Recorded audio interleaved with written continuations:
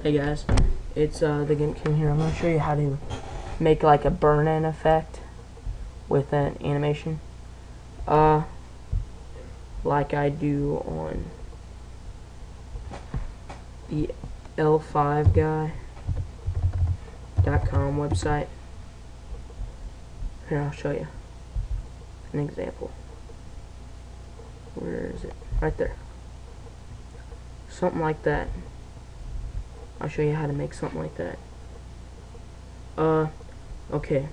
First, I'm gonna exit out of this. Okay, first, open up GIMP and click File, New, and make it whatever size or whatever uh, size you want. Click OK. Now, you can do whatever you want to this. I'll take my bucket fill, fill tool, make it black and dark yellow, and like stroke down. Make it like this. Now go to filters artistic. You don't have to do this. I just want to do this because it looks cool. Uh, go to oh wait decor. Add bevel. Or actually never mind.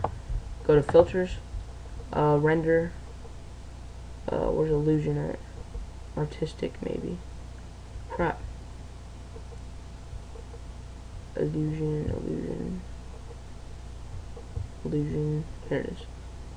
Uh, no. Come on, where the heck is it? Illusion.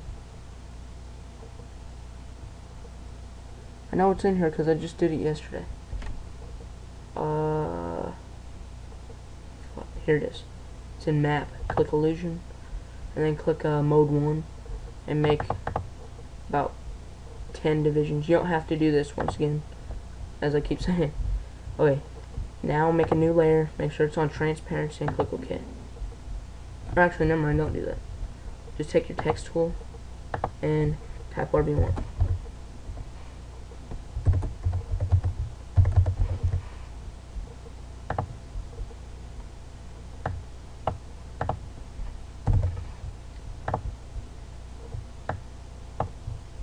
And make the text however you want. I'm going to tell you is never merge these layers. Actually, you know what, this should be white. Or wait, let me see. Yeah, it should be black. No, it's going to be... Uh, and just turn it white, I guess. Okay. Now, uh, make a new layer. And then make sure it's on transparency. Move that below the text layer and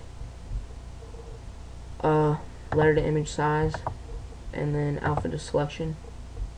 Whoops alpha to selection on the text layer and then select grow and grow it by about 15 well you don't have to do it by 15 this is just because my layers or my text is really big.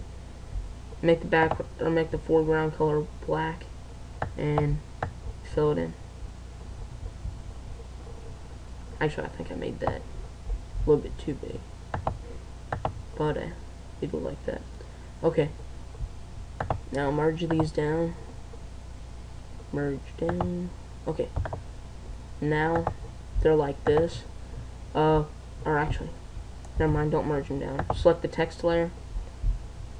Uh, click alpha to selection, and do this whatever colors you want make mine black and red. And then stroke down. Or stroke up. It doesn't really matter. Uh, select none. Now, I'm going to fill mine in with a uh, thing. Pattern fill, and then fill it in with a uh, thing. Overlay. Where's overlay at? Uh, overlay.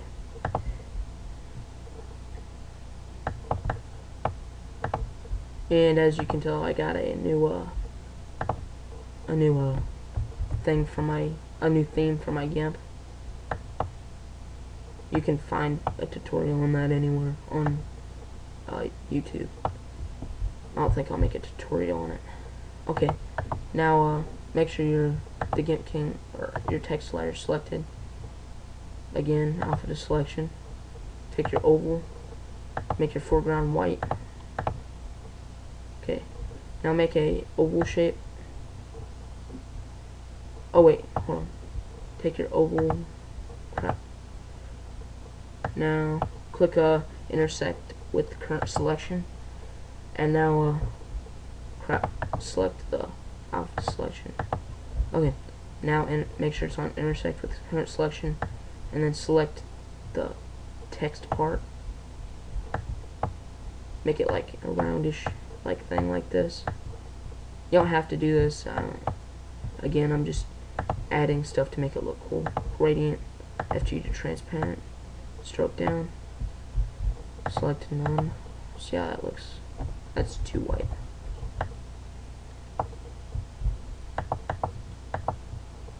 Ah, that's not white enough.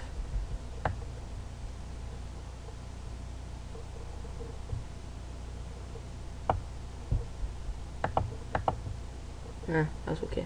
Okay. Now we merge these down. And now select your text layer, the one that was tech that used that you did all that stuff to. Go to filters, animation, and click burn in. And now change your uh, speed to 15, and then your glow color to black. Well, actually, it it, it determines on what color your outline in the background is but black usually works better. Now wait for it to blend and everything, which will probably take a while. Do, do, do, do, do. Hmm.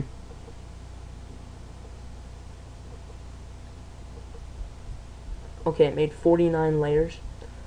Click filters, animation, and then click playback. Now click play and watch it. See, there you go. There's your burn-in effect, and uh, rate, subscribe, comment, and talk to you guys later. Bye.